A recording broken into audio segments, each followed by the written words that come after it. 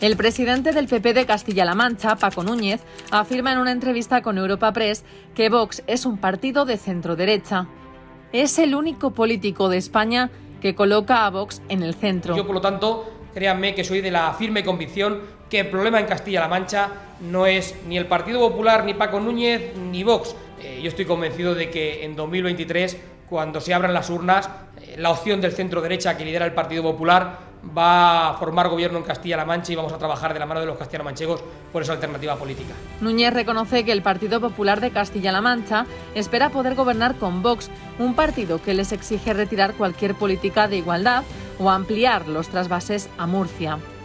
Pero lo más relevante es que si para Núñez y el PP de Castilla-La Mancha Vox es de centro, ¿qué son para ellos las políticas de derechas?